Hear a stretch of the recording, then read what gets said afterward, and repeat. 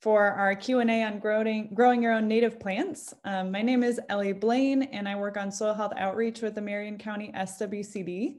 Um, we really wish we could all be in a room together, see your faces and have more of an engaging dialogue, but we certainly thank you for joining us virtually today. Um, and I'll just go over a few housekeeping things and then we'll turn it over to Kevin for our presentation. So we'll start with about a 20 minute presentation by Kevin Tungesvick um, to introduce some of the keys of starting your own native wildflowers and grasses. Um, and then we'll open it up to Q&A for the remaining time until one. So hopefully that gives us a nice long time to get some of those questions rolling and, and answer, um, answer what's happening, answer what your questions are. Let's see, we have somebody here that can't hear. Can, can everybody hear me, I hope? Everybody else? All right, thank you. So Kevin Tungesvick is the senior ecologist with Eco Logic LLC, and he has provided technical advice for numerous large-scale native restoration projects throughout Indiana. Um, he developed the product line and managed sales and production of about 200 species of native wildflowers, grasses, and sedges for 22 years at Spence Nursery, which is a wholesale native plant nursery here in Muncie, Indiana. Um, and correct me, Kevin, if I'm wrong on any of that. So for the Q&A portion, please just type your questions into the chat window. Um, we initially really wanted people to ask questions verbally, but since we had um, a great response and about 400 people registered for this, we want to keep the, the questions in the chat only. Um, you can post your questions at any point and then I'll moderate them with Kevin after he finishes with his slides. We'll also record all the questions during this session. Um, and if we can't get to them all, we'll try to follow up with you individually afterwards to, to make sure you get your question answered and are ready for spring growing. We'll be recording the session and then Kevin has generously said that we can provide the slides to everybody after the, the session. Lastly, the funding support for these workshops is provided in part by the USDA Natural Resources Conservation Service, the National Association of Soil and Water Conservation Districts, as well as Clean Water Indiana. And the USDA NRCS is an equal opportunity provider, employer, and lender. And with that, I'll turn it over to Kevin Tungesvick. Thanks, Elena. Um, I'll go ahead and get started here. And uh, so um, we're going to begin the presentation talking about uh, acquisition of the seeds, so seed sources and origins. And um, of course, uh, when obtaining native seeds, the, the most important thing is uh, to remember that a lot of native plants have a very broad range that can be range from, say, little blue stems native to 46 of the 48 uh, contiguous states. So obviously, little blue stem from Texas isn't the same as little blue stem from Maine. So you want to have uh, a seed origin that's somewhat local. So it's adapted to your growing season length, your soils and geology, and uh, and your your climate in general. Now, um, so generally, as I noted, seed origins that are geographically close to your site are better. And um, if you have the ability to collect seed from the locally native population, that's even even that is the best um, scenario, but make sure you have permission to collect from private property and keep in mind that commercial collecting isn't allowed on public lands or DNR lands or preserves. And uh, it's best to make sure that you, if you're purchasing seed, you want to have the seed um, in your hands by late fall to make sure you can uh, go through all the processes that uh, treat the seed and uh, enable it to, to break its dormancy. So as I mentioned, local origin uh, or local genotype seed will produce the best plants adapted to your local condition. And for these, uh, and especially um, I'll note the phenology. Um, when I started at a native plant nursery, the first year we had a project that spring that we didn't have time to grow some plants for. Uh, we ordered some swamp milkweed from a, a, a, native plant nursery in Minnesota, and we had some left over and we found that the ones from Minnesota went dormant three weeks earlier than our native uh, swamp milkweeds. And that has some real consequences for uh, phenology of, uh, of creatures that depend on those um, plants, such as monarchs, which uh, typically use swamp milkweed very heavily in the later part portion of the season because the uh, more abundant common milkweed tends not to produce as much new foliage later in the season. So that's an important thing to remember um, when when when uh, choosing the uh, source of your seeds to have from an area that has a similar length growing season. So it's better to get your seeds from a place east or west of you than north or south of you because east or west of you will have less of a difference in growing season length. Um, and of course, um, be adapted to your to your soil moisture and hydrology. There's some evidence that little blue stem that's uh, from Indiana grows better in moisture or wetter soils than little blue stem from, from more western origins where the climate is drier, for example. Now, nearly all um, native plants have some kind of dormancy mechanisms that may be broken by environmental conditions before the seed will germinate. And this prevents the seed from falling on the ground in the late summer or fall and germinating immediately when it wouldn't have time to establish before the winter. So the most common mechanism is an extended period of cold weather that these uh, seeds have to go through before they will, before that they will be able to germinate. And uh, freezing is generally not necessary, so don't think you need to put your, your seeds in the freezer, but an extended period of 35 to 40 degrees Fahrenheit is ideal. So refrigeration works really well. Um, most forbs also require a period of moist stratification, which I'll explain in more detail shortly, ranging from 30 to 90 days.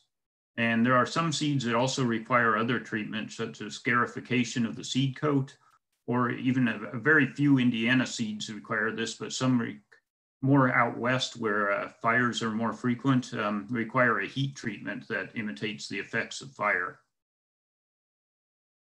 So all seeds should be stored in refrigeration throughout the winter to maintain their viability and help break dormancy. Uh, legumes tend to be the ones that require scarification of the seed coat. Um, and that most legume seeds, if you're familiar with them, are very hard and fairly large. And uh, the scarification can normally uh, be accomplished by rubbing the seeds between some medium grade sandpaper just to, to nick the seed coat up a little bit. Um, moist stratification that I've mentioned on the last slide, that involves mixing the seeds with a moist sterile medium such as the, the seed germination mix you'll be using or, or sterile sand or something to that effect. Um, mixing the seed with that moist medium and then placing the container back in refrigeration for the specified period. And that's that uh, really um, that combination of cold and moisture is what breaks the dormancy of most um, most forbs, a lot of sedges, mm, a few grasses uh, require that as well. And make sure the medium is moist but not completely saturated because you don't want to to uh, limit the uh, availability of uh, gases, oxygen, and so forth. There are a few native species, especially um, spring wildflowers, that have what's known as recalcitrant seeds. And these are seeds that cannot dry out. They lose viability if they, so they can't be stored dry.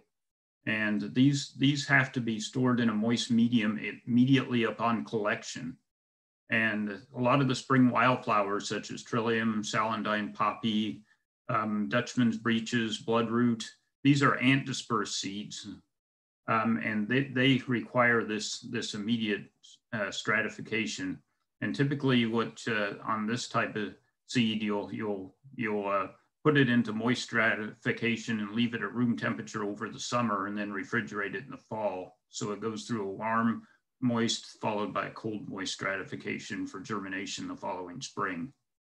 And I can't emphasize uh, enough about the really good information in the Prairie Moon Nursery um, cultural guide in their catalog, which is downloadable from their website.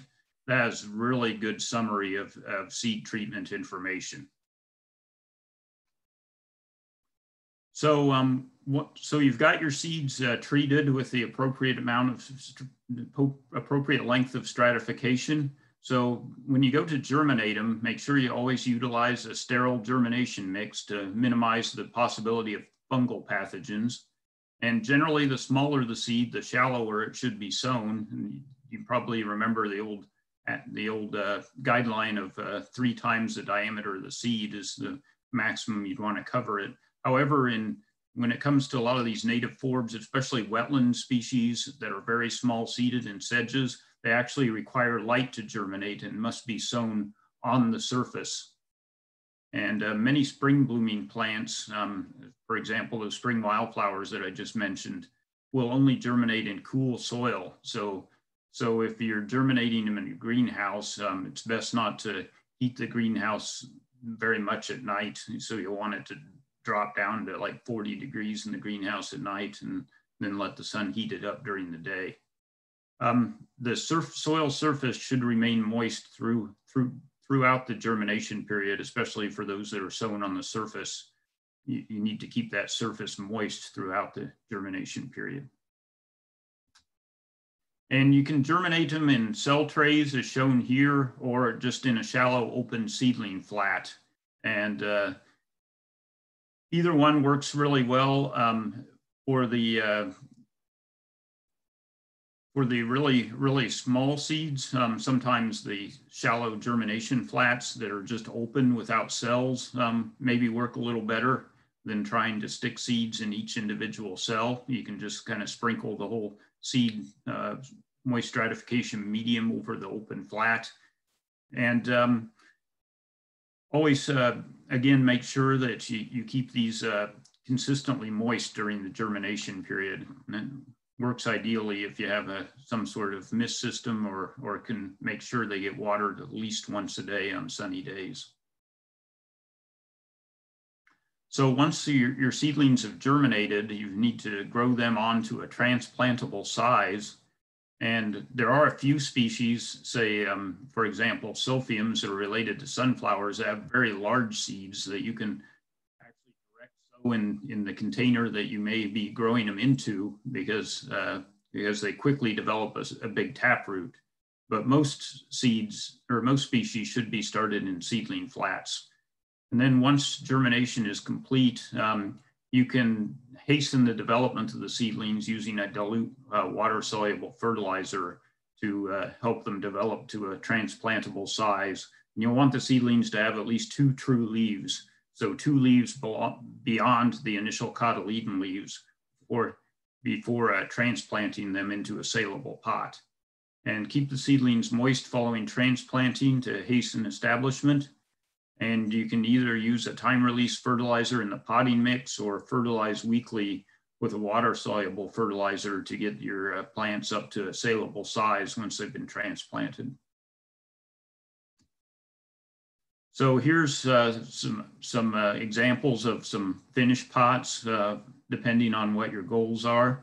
Um, you can see on the uh, on your left is a uh, some dense blazing star in a two inch pot, which is uh, what a lot of wholesale growers use. And then there's a more, a little larger, looks like about a three inch pot with some Heliopsis in it there, which is a, a, nice saleable size for a farmer's market or, or other uh, retail outlet. And plants may be successfully installed in the field from either size. Um, so so uh, most commercial installations use those two inch plugs. Um, you, you, see being installed on the left, but um, whereas a lot of uh, more retail or homeowner uh, landscaping jobs, will you want to use a little larger plant like these one gallon plants you see on the right. So I'm going to just quickly review some uh, some possible species uh, that, that are generally popular and relatively well known, um, including some graminoids, uh, some grasses, and then some uh, different forbs of different families. So little blue stem that I mentioned earlier, this is a native warm season prairie grass. So this is not going to germinate until you have consistently warm soil temperatures near 70 degrees Fahrenheit. And it's attractive warm season grass that has really nice reddish brown fall color that lingers through the winter. And unlike some of the taller grasses like big blue stem, this one stands well throughout the winter and through all sorts of weather. It only grows about two, usually about three feet in height. Prairie dropseed is one of the, our most attractive native grasses. It's native to prairies. It's a little slow to develop. It takes about three years to get a, a clump as large as the one you see in the photo, but it has really fine texture, excellent fall color. And unlike the little blue stem you saw, even though this blooms in the late summer like a, like a warm season grass, it'll actually germinate in much cooler soil. So this one will germinate earlier in the spring in a in a cooler soil situation. And uh, the inflorescence of this one is rare for a grass is actually fragrant and uh, smells like uh, it's been likened to cilantro or buttered popcorn. And some people like the smell and others complain about it. So keep that in mind. Uh, a woodland grass that's a really a nice species for ground covers of course, a lot of the uh, traditional ground covers that have been used by the nursery industry are invasive plants like vinca minor and Euonymus fortunei and English ivy. So this is a good substitute, a good native substitute for those invasive species. So beak grass is a, is a great one. It has a shiny leaves that are up to two feet long, but they arch over. And so the plant generally isn't that tall and the inflorescence also arches over under the weight of these very heavy grains. And then it has a golden fall color that fades to tan, but this is a, again, a woodland grass that does really well in shade and, and works really well as a shady ground cover. Moving on to some of the wildflowers, um, butterfly weed is a popular one that um, does really well in, in dry soils and poor nutrient poor soils. So it's going to need good drainage to, to thrive in the landscape. It's pretty easy to grow in a greenhouse. It germinates one of the, those forbs that will actually germinate without moist stratification just after cold storage. And it'll often flower the first year if started early. It develops a very thick taproot. So once you plant it in, make sure you're planting it in its permanent location in the ground because it's difficult to move once, once it's established. But, uh, and of course, this is a species of, uh, of milkweed, so it's a larval food plant for uh, monarch butterflies. And this is one of the earlier blooming milkweeds, so it provides nectar a lot in that, in the season in June when there aren't quite as many flowers blooming in open areas as there are later in the summer. Swamp milkweed is a really great plant for uh, monarchs. Uh, it does well in moist to wet soil and does not do well in sharply drained or very dry soils. It germinates readily follow, following moist stratification. Very important larval food source for monarch butterflies, especially for those larger generations that are later in the season in August. And uh, grows about three to four feet in height. The, the flowers have a very, uh, very nice fragrance in the afternoons when the pollinators are active and um, really a great plant um, for a variety of pollinators and of course, again, the larval food plant for monarchs. Moving on to some of the cone flowers, uh, Echinacea purpurea needs little introduction. It's really easy to grow. Um, generally on moist stratify it, you'll get some, some germination without moist stratification, but it germinates more uniformly with it. And there's a lot of uh, there's some cultivars that are actually seed cultivars too, where you can get seeds for the uh, for some different uh, color variations of it. But um, but in general, for maximum value for wildlife, you're going to want to stick to wild genotypes. Here's a really easy one to grow, the early sunflower um, following moist stratification. It germinates in cool soil and uh, has a long blooming season from late June through September. Can self-sow a lot in the garden, so it's best in sort of informal situations. Grows about four feet tall, but uh, one of the one of the best for providing a long season of summer color. and a long, long season of value for pollinators. There's a variety of uh, other cone flowers and black-eyed Susans. So in the foreground of this picture, you can see the yellow cone flower, Ratibida pinnata, one of our easiest prairie plants to, to grow. And uh, to the uh, right of that, that's not quite open, you can see a Rudbeckia. That's Rudbeckia subtomentosa. And that's another great plant of similar height, but it blooms a little later. So the Ratibida peaks in July, through early August. The Rudbeckia subtomentosa peaks later in through August in, into the middle of September. So they both uh, provide rather similar function in the in the wildflower meadow, and they're both fairly tall plants um, that are best in, in little more informal situations with other tall plants. But uh, birds like the seeds of, of all these cone flowers, and they're, they're really, really great uh, plants for pollinators and great for uh, residential wildflower meadows. Moving on to later in the season, some of the asters are really good plants. They're really attractive. Um, smooth aster, um, Symphyotrichum laeve, is a really attractive um, lavender or medium blue to lavender flowered aster. Great for butterflies and bees, about three feet in height and relatively easy to grow and does great in, uh, in well-drained soil in sun or partial shade. And then New England aster is the well-known purple aster with the bright yellow centers.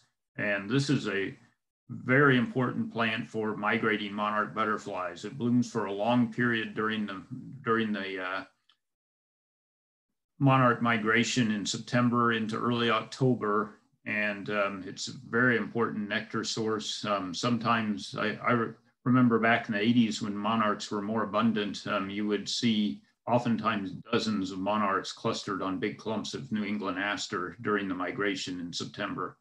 It's easily grown. It is a rather tall, lanky plant, so it's best to, to plant it with some other robust perennials like the cone flowers in the previous slides. And um, but and it's one that um, if you do want to keep it a little shorter around uh, Memorial Day or early June, you can cut it back to about halfway and it will regrow but bloom at a, at a lesser height. Moving on to some of the legumes, um, wild senna is uh, one of our showiest um, native legumes. It's a very robust plant, grows about up to five feet in height very showy cluster of yellow flowers, followed by uh, long black seed pods. But this plant is probably the best plant for a lot of our native bees, particularly bumblebees use this plant extremely heavily. At uh, when I worked at the seed nursery, we would have rows of this for seed production. And as you approach the rows when they're in flower, there is an audible buzz because there was there were literally thousands of bumblebees on these seed production rows um, pollinating them. And a great uh, garden perennial is uh, the blue false indigo, Baptisia australis, really attractive blue flowers in late May, early June. And it's uh, there's several other false indigos, the cream false indigo and the white false indigo, but they're slower to develop and a little more picky. This one's a lot easier to grow and a lot, lot bloom, develops faster and often blooms in the third, usually in the third year, whereas some of the, sometimes the white and cream false indigo take three to five years to actually flower. All of the false indigos develop along taproot, so you'll want to plant them in their final location because they're not easy to transplant once they're well, well established. And finally, moving to some mints. Um, the bergamot, the uh, uh, is a very popular one, uh, genus Monarda, often called bee balm, attracts a wide variety of pollinators. Um, again, it's best in a naturalized situation with other tall plants and very easy to germinate and grow, has fragrant foliage, and attracts a really wide variety of bees, butterflies, and other pollinators. And then finally, the mountain mint, um, virginianum. This is a non-aggressive mint that's only about 18 inches tall. It will slowly spread by rhizomes, but not as fast as most members of the family. and um, very attractive white flowers in midsummer that attract just a myriad of pollinators from bees to beetles and wasps. And the flowers are always just alive with a, a real variety of pollinators. So that is my uh, presentation. So we are ready to um, go ahead and uh, take some questions, I think.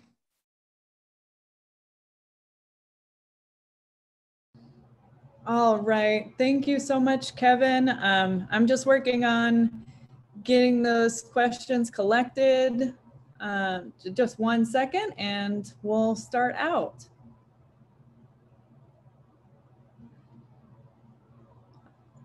So some of this you already covered, but we um, had quite a few questions come in ahead of time regarding collecting um, seeds from the field especially grass seeds, milkweed seeds, um, and then how to store and prep those collected seeds. I apologize if you already covered some of this um, earlier, but if you could just review a little bit of that, that would be great. Okay, so so um, a lot of uh, native seeds out in the wild. Um, you need to collect them just before what we call they shatter, which means the seed head breaks apart. So you need to get out there um, and uh, collect before before the seed's natural mechanisms for dispersal happen. Now with grasses, uh, the seeds often hang together, but then the, the uh, inflorescence will start to dry, break apart once the seeds are dry. But for other species, you'll want to harvest them when they're not completely dry for example, um, say um, seeds such as silphiums that are uh, the prairie docks and compass plants and rosin weeds, cup plant. You'll want to harvest those when the seeds are plump but uh, not completely dry because what happens if you leave them out, out to completely dry, the goldfinches will come cut a neat little slit in the seed and pull the uh, kernel out. So um, so that that's an important thing to remember. And any seed, obviously, that you collect when it's not completely dry, you need to uh, physically allow it to dry in a in an airy, um, well ventilated area. Uh, so it otherwise um, it will likely uh, tend to, to mold in the refrigerator unless it's one of those recalcitrant seeds that I mentioned earlier that can't dry out, in which case you'll want to mix it with a moist medium, moist sterile medium to store it. Um, but in general, um, you need to make a lot of times the uh, seeds are fully formed well before the seed heads completely dry. So, so in many cases you can collect it in in uh, and and the way to do that is usually if it's a large enough seed like like a coneflower or something, you can usually um, uh, cut one of the seeds open and see that the kernel is is full, firm, and and generally generally pale colored when they're mature, um, white or grayish. Um, if they're greenish, they're probably not mature. So um, that that's one of the things to remember that if you if you wait too late, um, you may lose the all your seeds to uh, goldfinches or other uh, seed predators.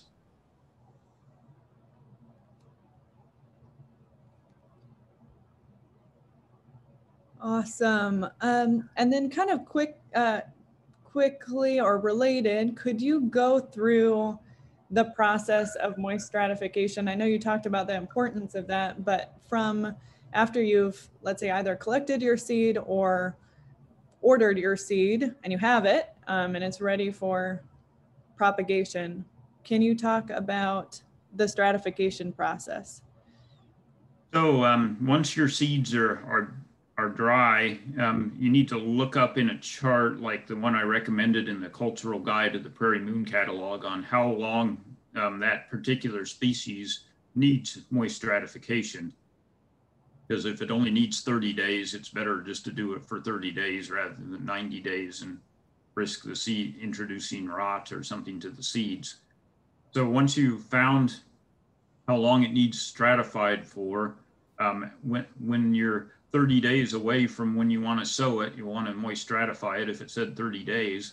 And you'll take the seed and mix it with about three or four parts moist sterile media. So you can get your, your seed germination mix and moisten it.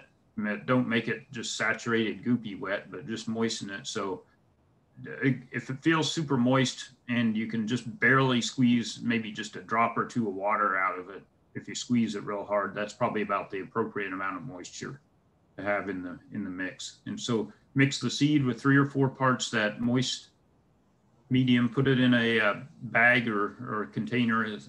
Ziploc bags work really well. And then um, go ahead and um, uh, stick it back in the refrigerator at about 35 to 40 degrees for the moist stratification period.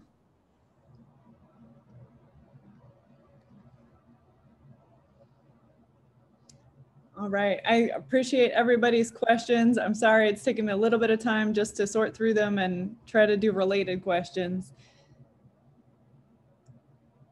Um, a lot of people ask about starting plants in an unheated space, either in an unheated greenhouse or outside in a cold frame or just directly outside um, over the winter.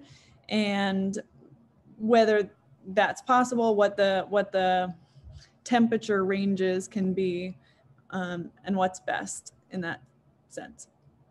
Yeah, that, that, that can work very well. You're obviously going to be state, start starting things a little later than if you had a heated space available. But um, if you're starting in an unheated greenhouse or cold frame, you'll probably want to start about go about the first of April or so because you, you want to be past really hard freezes. Um, so you want to be past like temperatures that are 25 degrees or colder. And um, then you'll want to, uh, and make sure that uh, whatever setup you have has ventilation so it doesn't heat up to 150 degrees in the afternoon because uh, you, you can, you definitely can make it too hot for these plants to germinate properly. So make sure your cold frame, you can prop it open during the afternoon or you have ventilation system or so, something to keep it because you really don't want it much warmer than 80 degrees um, in the uh, during the germination period in the afternoons. Now dropping pretty cold at nights usually is not a problem as long as it's not substantially sub-freezing. So you don't you don't want to, obviously your seedling flats to freeze solid, although I've had that happen and had the seedlings survive surprisingly. But um, uh, that, um, but yeah, drop, dropping it to 35 or 40 degrees at night is generally no problem for, for a lot of these seeds. Warm season plants, you'll want to wait later, like um, warm season grasses like little blue stem and Indian grass and, and things like switchgrass. You'll want to wait later in the season to sow those in an unheated space, probably till the 1st of May or so. But yeah, that, that can work just fine.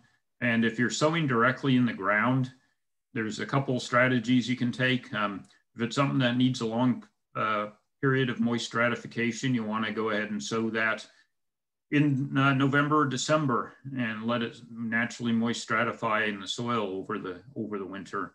Um, if it's something that requires a short period of moist stratification, you might um, sow it in late February. Or and uh, I've had good good luck at my house doing that, just uh, spreading the seed uh, late February and starts to germinate sometime in April.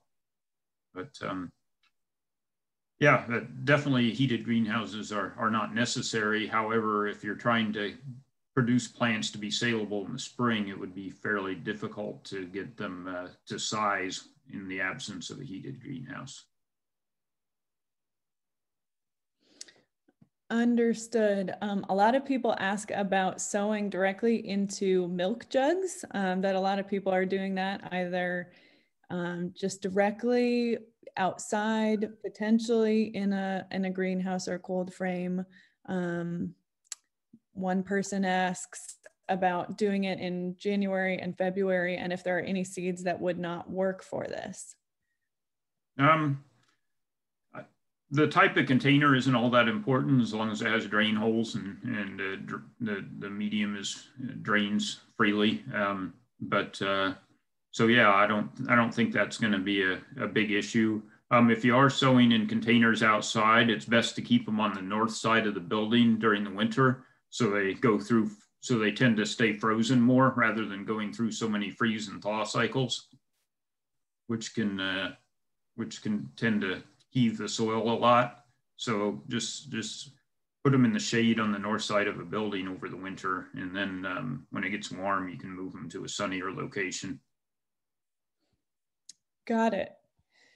And we have quite a few questions about the best um, propagation mediums, starting from the, you know, starting out uh, with the the best for the the raw seed, and then also for potting up. Um, and related to that, I guess I would also ask, like, how do you sterilize your medium, or what is considered a sterilized uh, seed medium? um, and is purchased potting soil okay to start seeds?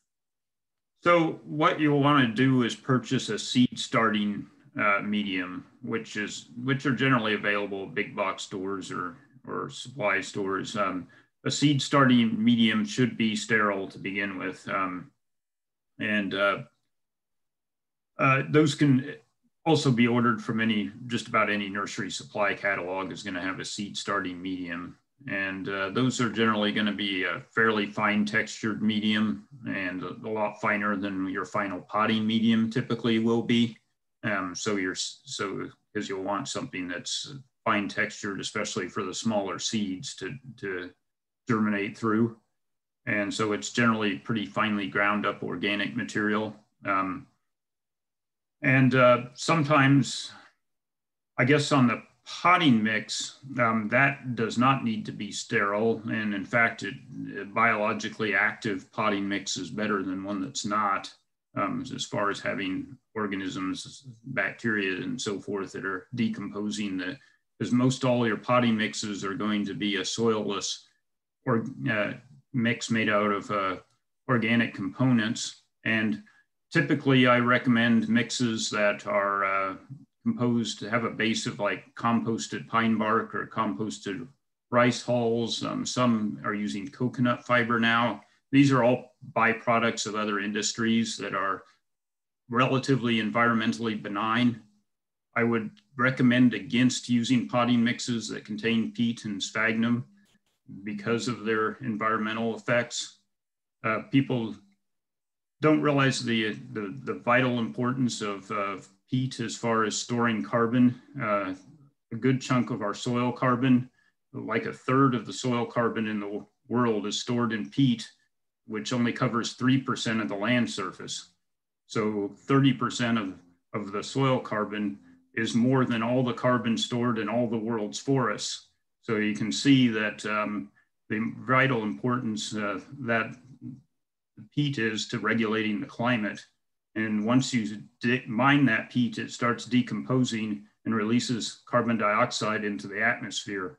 So it not only destroys a wetland that tends to harbor rare plants, such as orchids and other uh, bog inhabiting plants, but it also, um, it also exacerbates climate change. So try to, try to use um, soil mixes composed of uh, like I said, those byproducts of other industries like composted pine bark, composted rice hulls, or, or uh, coconut fiber.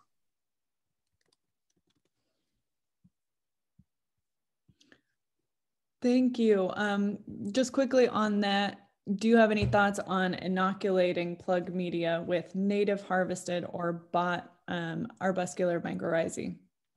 Um, that certainly can be beneficial, and um, there are commercially available strains of the the and what you want is the VAM and endomycorrhizal. Um, so it it's, it actually grows in within the roots. It's in because there's endomycorrhizal and there's ectomycorrhizal, and ectomycorrhizal tends to be used by woody plants like oaks, but these herbaceous species you'll need the the vesicular arbuscular mycorrhizal is what VAM stands for. So, so that's the product you, you, you'll want, an endomycorrhizal product. And yes, it's, and typically what you, you'll introduce that during the, uh, in your potting mix when, when they're transplanted from the seedling flat to the uh, final um, container. Just had another question come in. Can you also, would you also recommend adding vermicompost to the potting mix? I'm not super familiar with that product, so I can't, uh, is that just worm compost? Um, yes. Yeah, okay. worm yeah, yeah, worm compost uh, would certainly be fine to, to utilize. I wouldn't have any problem with that. It's uh, definitely got some good nutrient properties. Okay.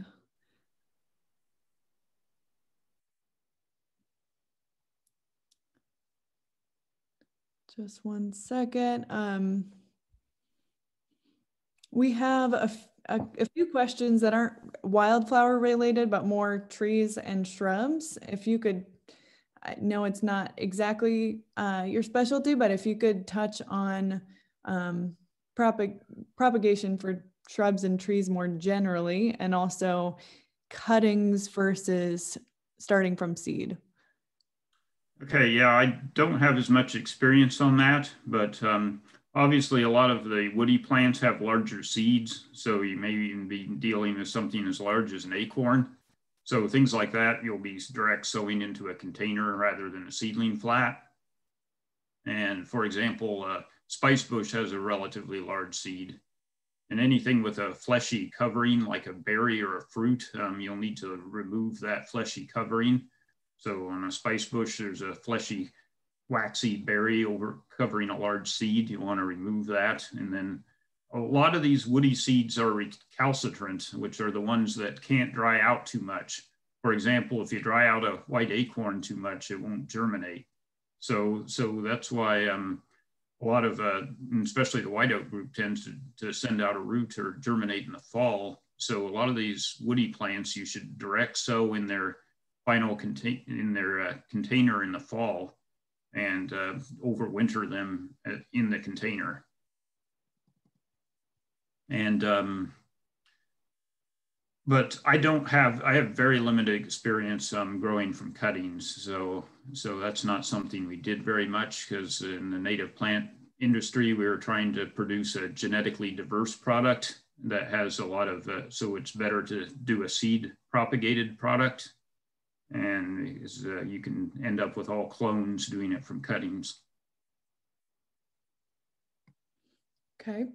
Um, related to starting legume natives, legume related, leg, legume, sorry, natives that are in the, that are legumes, um, do you add any inoculant? Yes, um, and the inoculant is, is uh, specific to that genus. So you'll need to for example, order inoculant for or uh, the genus Senna or the inoculant for the genus Baptisia. And you can get those from uh, Prairie Moon Nursery. Excellent. And that takes us into sources. A lot of people, if you're not collecting your own seed, a lot of people are asking, what are the best recommended sources? Um, a lot of people mention Prairie Moon. They're located in Minnesota. How do you tell where the seed is coming from um, and how do you choose what to use? So a lot of those uh, nurseries, even though their Prairie Moon may be located in Minnesota, it's actually a co-op of growers from all over the Midwest. So they can share the origin of, of a specific seed lot with you so for example, Prairie Moon has a lot of growers that are growing stuff from Illinois, which is a really good seed source for, for this area.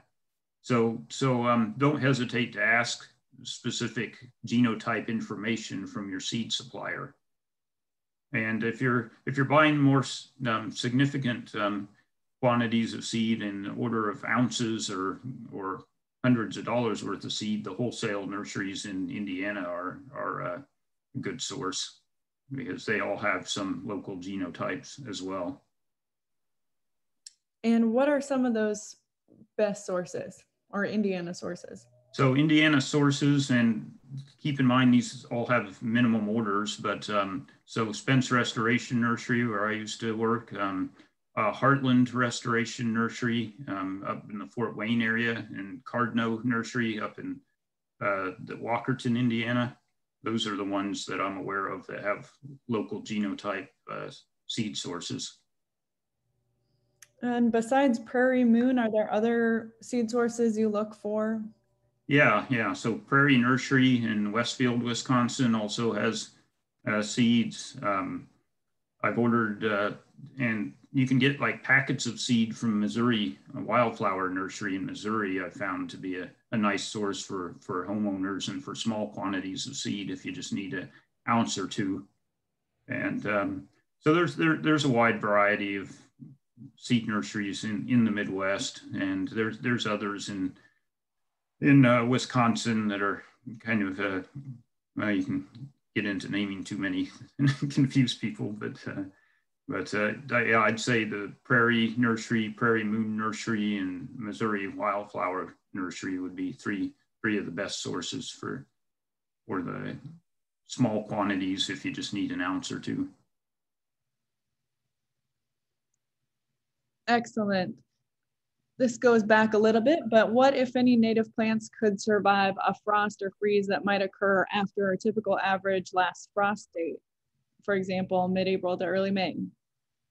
So I have not had much problem with uh, having, like I mentioned in the presentation, I've had seedling, I've had the heat go out in a greenhouse and all the seedling flats freeze solid and the darn seedlings all survived after I just ran some water on them. So um, I don't see frost as a big issue for native seedlings. Um, I, I, germinated uh, several things at my house last year. And of course, we had that hard freeze in early May and uh, didn't do a thing to any of them. Um, most of these seedlings are adapted to the irregularities of Midwestern weather and very few of them are that susceptible. And the ones that are susceptible tend to be those ones that will only germinate in really warm soil temperatures, like warm season grasses might get damaged by a late freeze. But in nature, they don't germinate till mid to late May anyway, when they're put in the ground. So,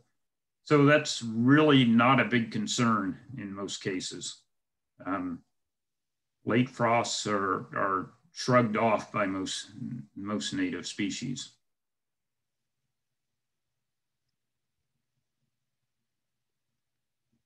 Just one second.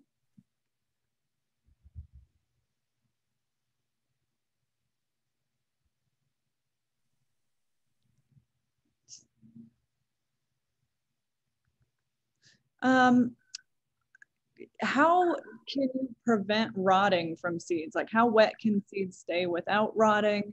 Um, I know it's probably species dependent. We also have some questions on, let's see, persimmon seeds, if they need to stay wet.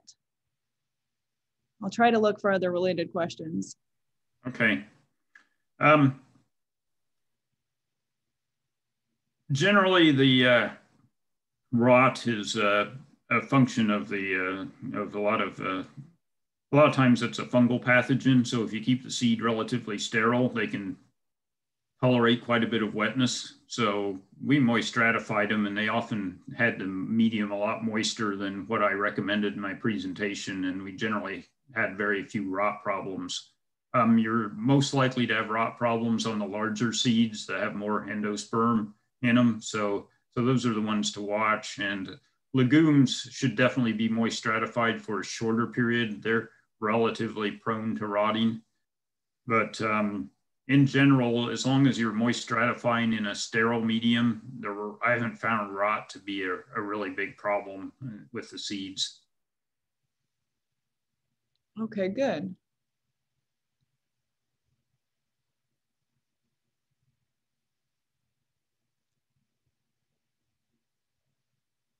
Sorry, we have a lot of questions, so just trying to cover the ones that are most related to starting.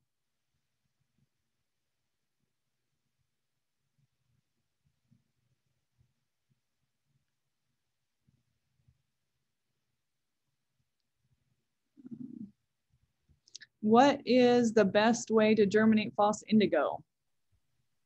So uh, the baptisias, um, those are a legume. So so you're you're going to want to um, scarify them with sandpaper, and then a short period of moist stratification, maybe 10 or 15 days. And then because they develop a taproot almost immediately, it's better to actually sow them directly into a small pot rather than a seedling flat because you'll get a long horizontal taproot in a seedling flat that's then difficult to transplant. So it's better to direct sow those into like a three or four inch deep pot. Um, uh, and then that way that taproot can go directly down. We had another question about um, germinating seeds with a thick seed coat and specifically puccoons. I'm not familiar with that. And then is there a good source for a hairy woolly puccoon? Yeah, puccoons are are I honestly don't have good experience with trying to germinate puccoons, so I'm probably not the uh, best person to ask on that one. I didn't try very much, and the few times I tried, I had little to no success on puccoons. So um, I would consult the, the Prairie Moon Nursery catalog and and wish you luck on on puccoons, unfortunately. Um, somebody mentioned, uh, I think you mentioned persimmons, and that's another one I don't have any any experience with, but you would definitely obviously remove the fleshy fruit and probably sow the seeds immediately in a moist medium and let them overwinter in that moist soil. I would guess that's what most is most successful for most things with fleshy fruits.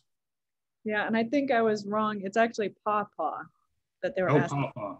Yeah, same process I would recommend.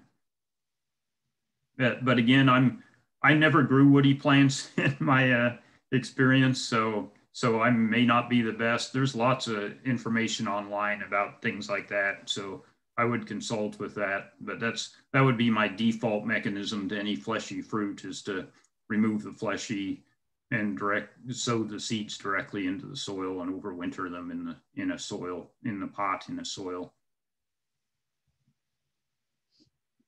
Okay, and yeah, with persimmon, I guess it was that it had passed through the, the, the seeds that they had passed through the digestive tract of an animal. And is that sufficiently preparing them to plant by natural natural scarification? Yeah. I would imagine that would be, uh, that's the way nature works. So I would imagine that would be sufficient if you have, uh, if you're able to uh, go about it that way.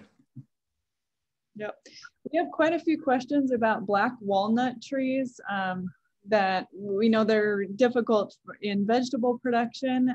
How do, you know, do native plants tolerate them? Are there any native plants that, that do not tolerate having been mulched or, or being next to black walnuts? Um, so most of our native woodland plants are tolerant of being around black walnuts. Um, including most of our spring wildflowers and most of our woodland grasses. The, uh, the beak grass that I highlighted earlier grows really prolifically under walnut trees. So generally woodland understory plants, as a general rule, most of them tolerate being under black walnuts. I have a lot of black walnuts in my property and I don't really see any difference in the diversity underneath them. And in fact, sometimes the growth is more lush underneath them because they leaf out later. So the the spring plants get more sun um, than under, say, sugar maples that leaf out earlier and cast a denser shade. So generally, if you're trying to grow native Indiana woodland plants under a black walnut tree, you'll probably be successful. That's good. I think that'll be good for a lot of people to know. Um, this goes into more just management of natives once they're actually planted. Um, people are asking if you know a lot of them grow so tall and grow quickly and that's great but can we uh, cut them back at certain times throughout the year to keep them shorter and still get blooms? Um, also kind of related is about deadheading. Is there any benefit to deadheading to increase blooms or extend bloom times? Any input you have on on that management would be helpful so some of the late blooming species, I already mentioned that on New England aster, you can cut them down if they're, especially if it it's tends to be like a much branch, a, a plant that tends to branch a lot anyway, like a lot of our asters or tall ironweed is another one you can cut back in early summer and have it bloom at a shorter height. Um, the plants that are less branchy, like coneflowers, that doesn't work out so well. Um, I don't recommend doing that on on those, but but species that branch prolifically are generally the ones that that thrive with the an early summer cutback and will come on and and bloom. And they may bloom a little later than the than non-trimmed ones, but it works pretty well. As far as deadheading, it's not normally something I recommend. Um, uh, it can help on some species that may self sow really prolifically, say like northern sea oats that come up everywhere if you have them.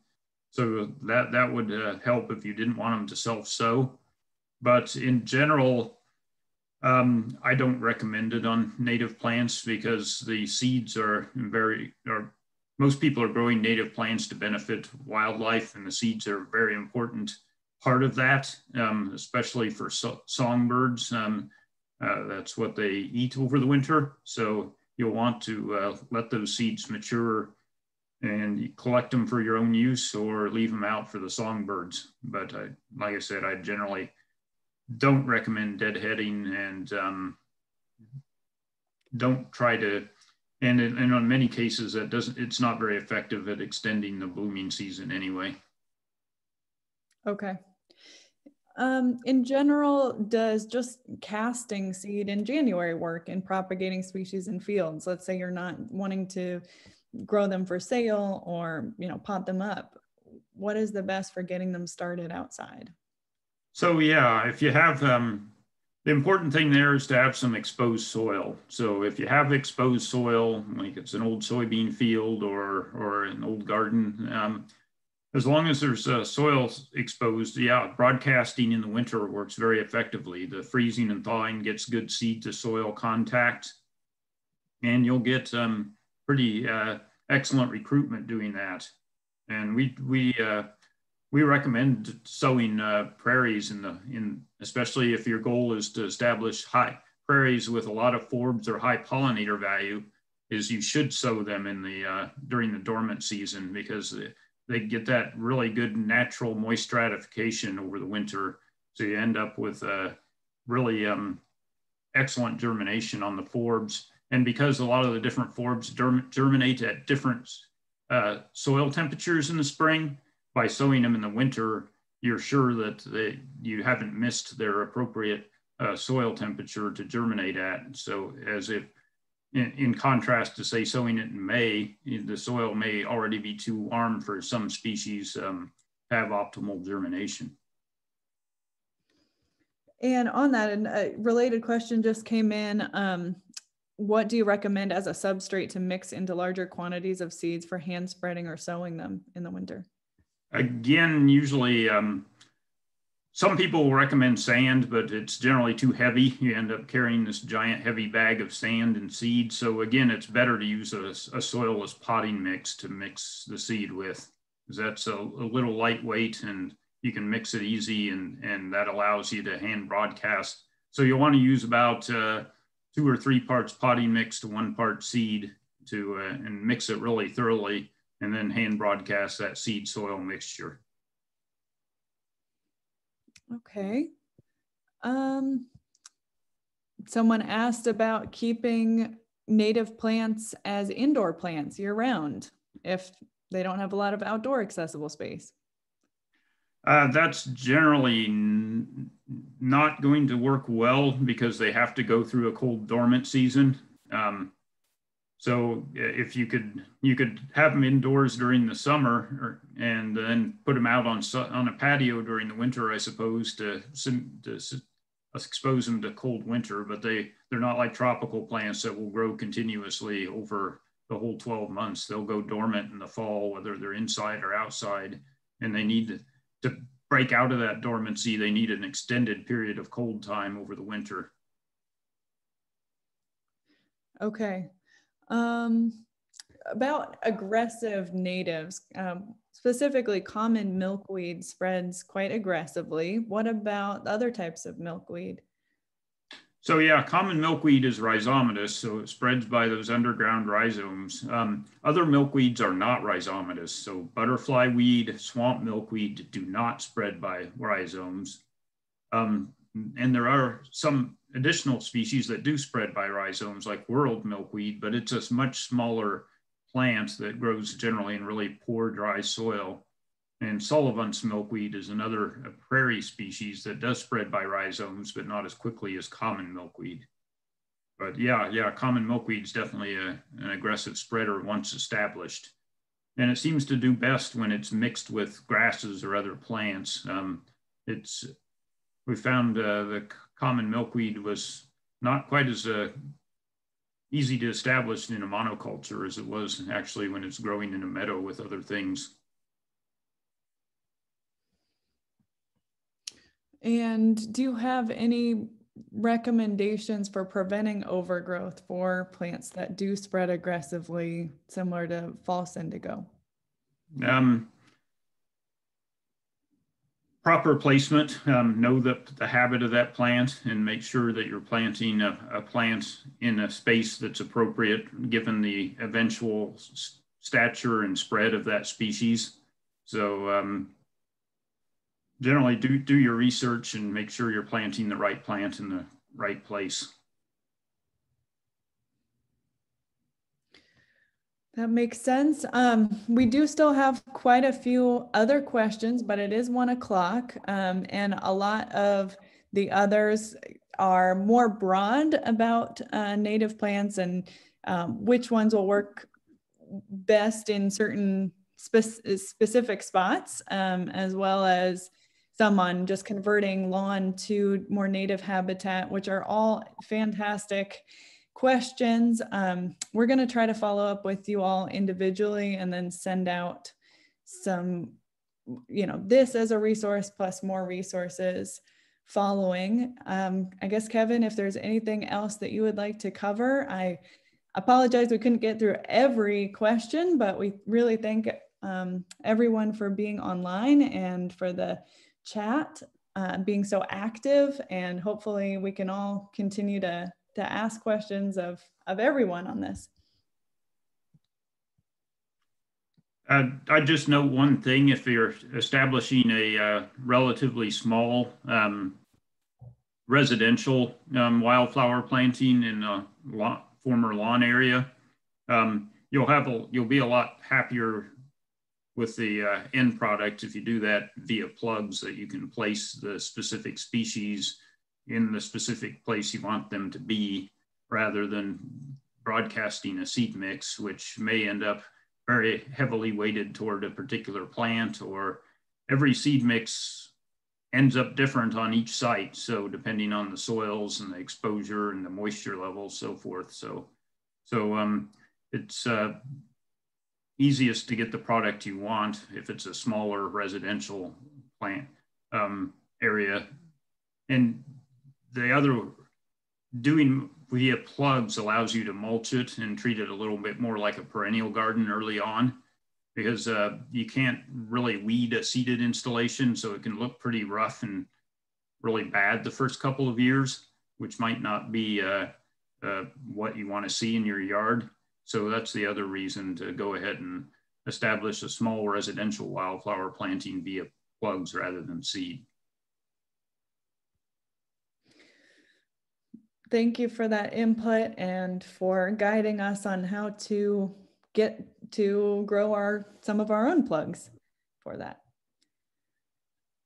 Um, I think people hopefully really appreciated you being here. Um, I, I still even see more questions coming in. So I'm, I'm glad this is a hot topic for everybody.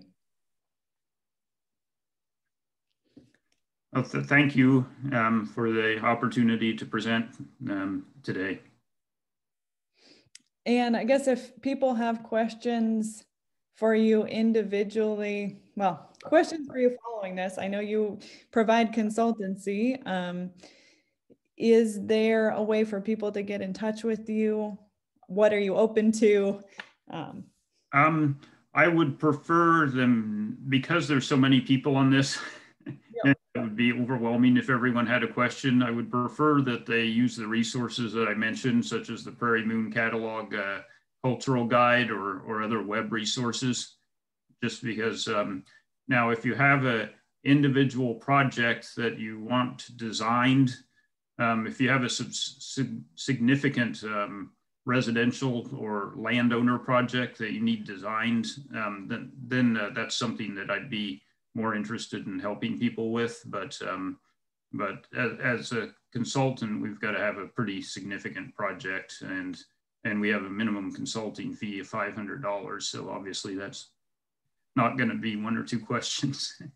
yeah, I understand. Well, we will um, do our best to compile this information and send it all out to everybody. So I think that's it and uh, we'll go ahead and close out. Thank you for joining everybody.